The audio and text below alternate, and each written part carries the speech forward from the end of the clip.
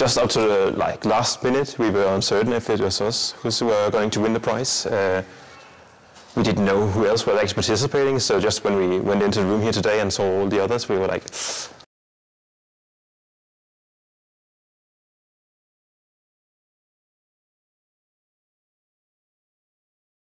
The Smart Campus Herning Prize uh, was to stimulate an interest from our students into the campus itself.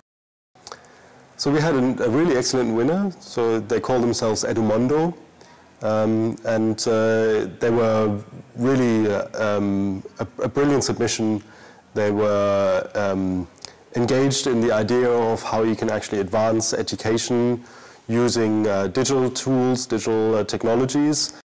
The whole uh, idea is that uh, you are able to track education so that's both tracking the teacher, tracking the student, and tracking the institution in order to inspire self-reflection, uh, to also uh, inspire self-improvement, uh, both for the students, for the teachers, and for the institutions.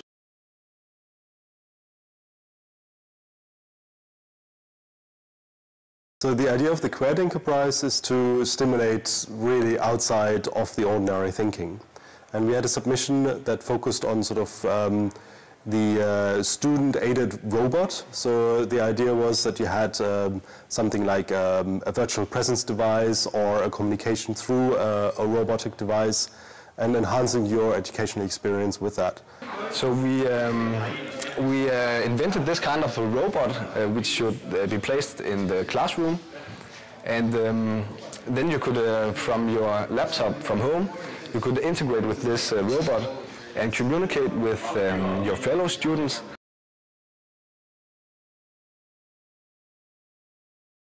So this was such a successful competition uh, this time around that we're thinking that this should be something that uh, continues. So um, we will be announcing a, a, new competition for the year to come uh, in a short period of time.